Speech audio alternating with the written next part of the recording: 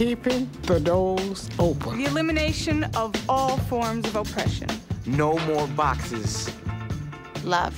Standing right in front of me. An open, honest dialogue. Ever evolving. The future of black history is connecting cultures all over the world. Being proud of who you are. What is great. Resilient. Limitless.